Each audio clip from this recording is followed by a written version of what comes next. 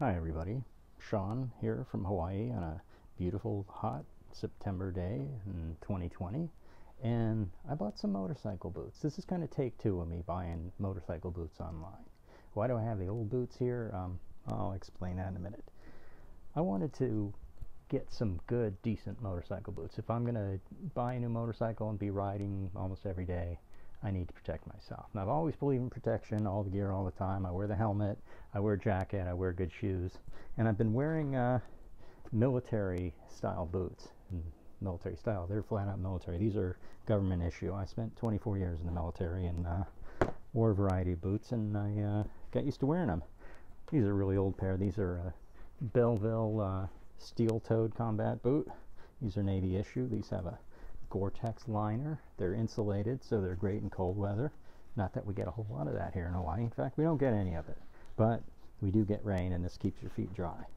But you know what? A good, uh, a good unlined leather boot will still be waterproof. This has got a gusseted tongue, so you can waterproof up to here.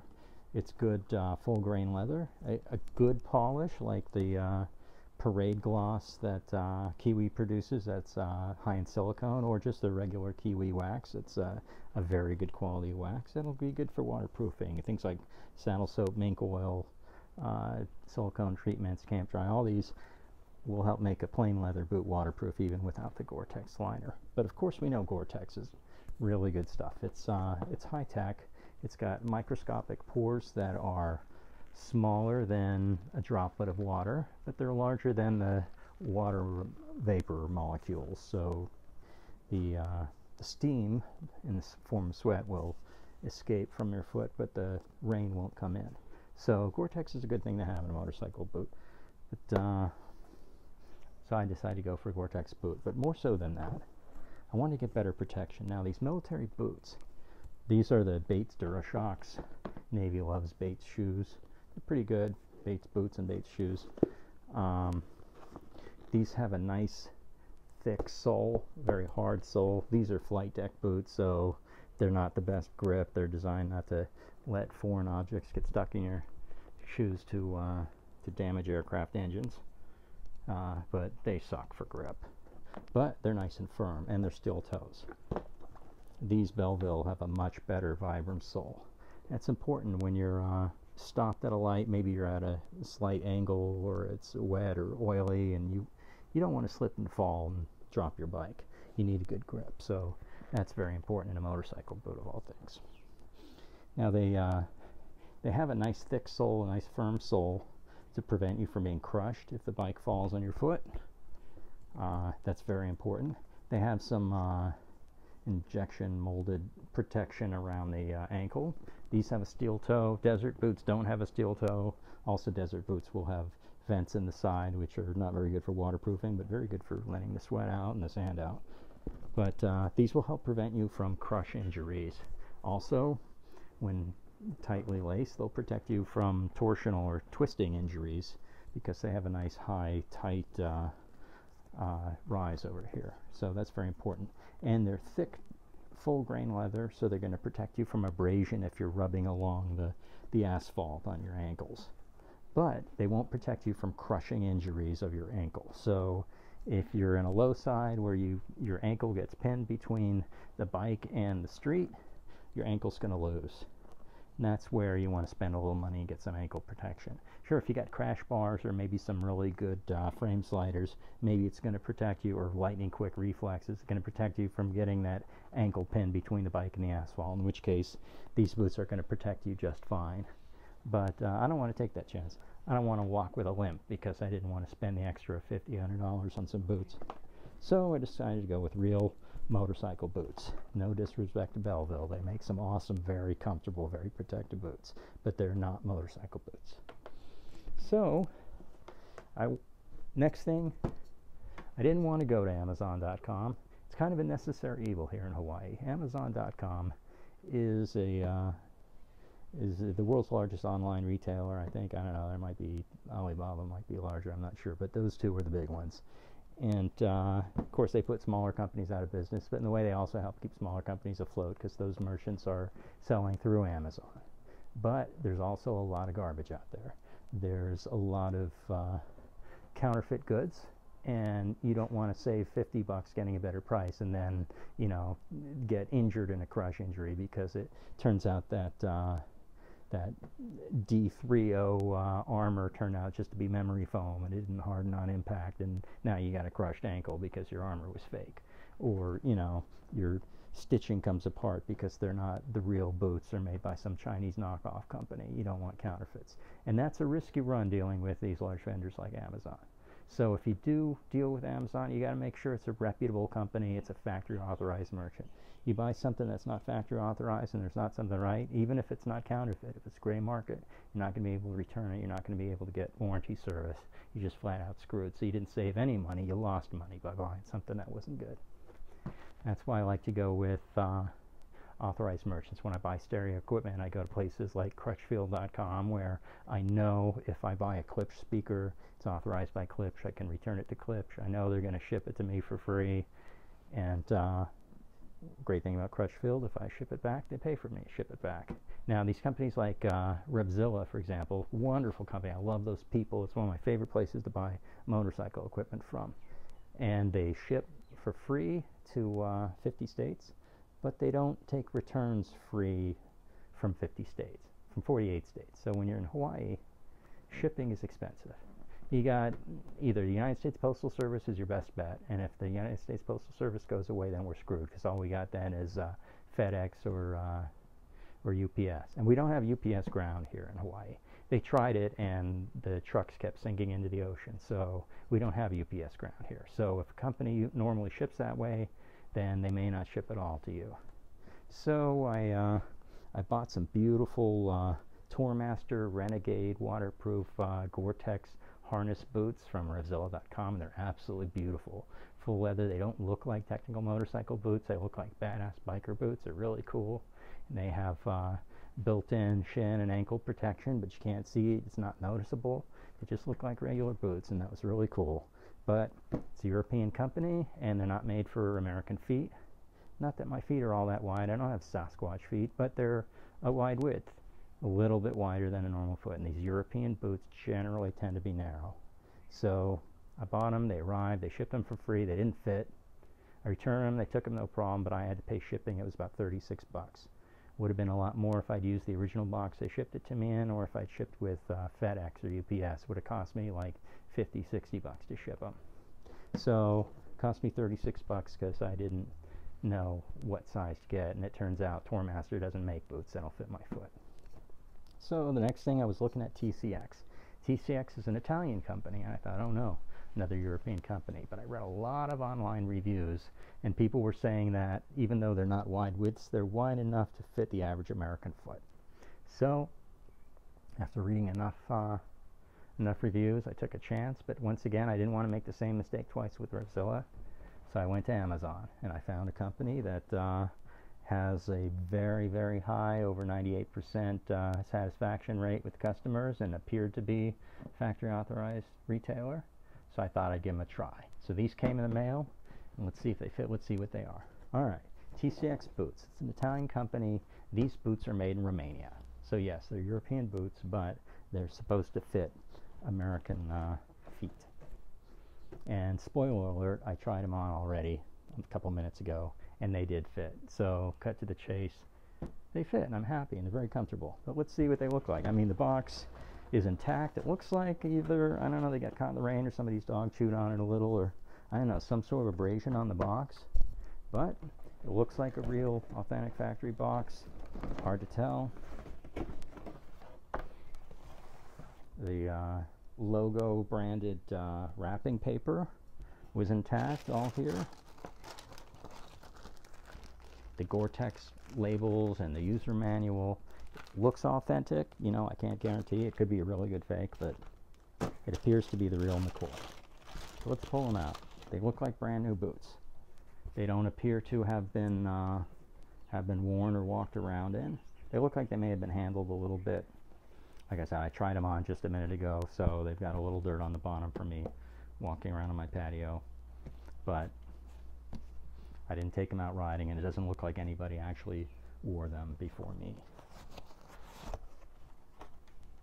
So This is a real motorcycle boot. It looks a little more funky than those uh, badass, uh, the Renegade waterproof boots from Tourmaster that were too narrow and I had to send them back. Yeah, they don't look as cool as that. They don't look like, you know, biker boots or cruiser boots or cowboy boots. These definitely look like touring boots, and they are. But that's not a bad thing. They're not maybe as fashionable as military issue combat boots. Those look pretty badass at a mosh pit. But at the rock store or the motorcycle cafe, these are going to look pretty good. And they're comfortable enough to walk around a little bit, to go out to that cafe, get a cup of coffee, a, uh, you know, some ice cream or whatever, a non-alcoholic beverage. But they're not all day walking around boots. But they are designed to be worn all day when you're uh, when you're riding around on your bike, and to be able to get off now and then without having to change out of your boots. When I commute to work, I'm probably gonna bring a change of shoes with me but then again, I sit in a chair most of the day, so these would probably be fine for that. There's some flexibility. There's the uh, accordion here. There's flexibility in the sole, which is good, but you can feel it's really stiff from side to side for those crushing uh, protections. There's uh, one of the reasons the, that I like the newer TTX, TCX uh, boot over the older Evo model. This is the 5.4, the newer one, is the uh, protection is integrated. On the old Evo boot, you have a uh, you have a uh, plastic slide or nylon slide, whatever it is over here. You have this big diamond-shaped or triangular-shaped plastic thing on the outside of your boot. That's great, wonderful protection, but it you know looks like you got a thing. It snags on your pant legs if you try and tuck them in and all that. With, with this, the newer boot, the protection is integrated. It's inside. You don't see it, but it's there. Trust me, it's, it's there. You got malleolus protection on the radial and lateral sides. You got the uh, injection molded protection on the uh, heel cup. Still flexible, but stiff enough to protect you. You got some reflective material built in. You've got the accordion front and back. You've got that CE rated shin protection, so when you smack your shin on the uh, pegs, you're not uh, you're not crying in pain. Uh, the toe's a little bit flexible, but there is protection here. You've got your uh, shift guard. It's a thermoplastic rubber uh, shift guard, so you got a good grip. It protects. Uh, my old motorcycle boots, it was scuffing the leather, but you know that's okay. I mean, on my old combat boots, when you shift, but these are designed to not take anywhere when you're shifting. And uh, some of the people in the review said, now, why on earth do they put the the shift protector on both shoes, uh, you know, on both boots. You're only going to shift with one foot. Well, that's for symmetry. I guess they thought it would look even more silly if only one boot had the protection. But uh, I don't know. Honestly, I don't think it would. I don't think it would look any more silly than it does being on there in the first place. It's obviously a technical boot. It's a motorcycle boot. Knowing which side the shifter is on on every bike out there is, is just what goes along with motorcycling. So, uh, but like many other boots, they made judgment and put them on both for symmetry. So these are Gore-Tex boots, as I mentioned. You got some nice Velcro. You got a uh, YYK zipper in here. So they're easy on, easy off. It's gusseted, so the water protection comes all the way up to here. This is Gore-Tex all the way up to here. Now, reaching inside, pulling out the insole, extremely thin, very thin. You can see it looks like it's channeled and vented for ventilation, but this is going to wear out very quickly. So you might want to spend a couple of dollars and you know go to the drugstore or you know go online or whatever and and buy some insoles or pull them out of your old boots or whatever, and that'll make a big difference. But the boot is still comfortable even with that thin insole because it's still cushioned underneath. And I don't know in this light in my bedroom if you can see, but it actually goes, uh, the Gore-Tex sock liner goes all the way down to the floor of the boot, to the insole, and all the way up to the toe. The, the entire boot up to here is enveloped in this nice waterproof, breathable Gore-Tex liner. So these are some good quality boots. And it appears to my untrained eye to be authentic Gore-Tex. It's got all the branding and everything on it. So this is the TCX X5.4 GTX. GTX, of course, being for Gore-Tex motorcycle boot. And uh, uh, on the Revzilla website and some of the other websites, they sell for about $300. They had the old boots, the uh, the Evos and the, the regular uh, TCX 5s for uh, for about $150 on closeout. Of course, they never have my size on the closeouts. Plus, uh, those are the old boots. I was able to find these on Amazon for the new boots for $150. That's where I was worried at first. I'm like, but you know, am I getting the real boot? Because it's not worth saving 150 bucks if you're buying counterfeit goods. So I was very careful about vetting the particular merchant that's selling. So hopefully I made the right choice. And if I do another YouTube video from my hospital bed with a crushed ankle, then I'll be apologizing for leading you astray. But uh, I have a good feeling about these.